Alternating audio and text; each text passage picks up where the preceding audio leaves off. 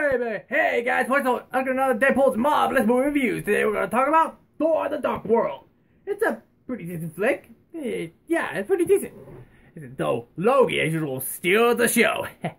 I mean, seriously, how can this guy have get a whole movie yet? I don't know why. And, well, uh, Thor the Dark... Uh, Thor... Thor Ragnarok is going to come in a few months' time, but yeah. Yeah, Thor's... Thor's, Thor's got some pretty decent trilogy. Yeah, we'll see what's gonna. That's not what's gonna bring to the table. The second one, it's okay. It's not good. It's well, it's good. It's just not that good. And it's not bad either. Certainly not. but anyway, it Thor was pretty good. Jane Foster was good. Everything was really good.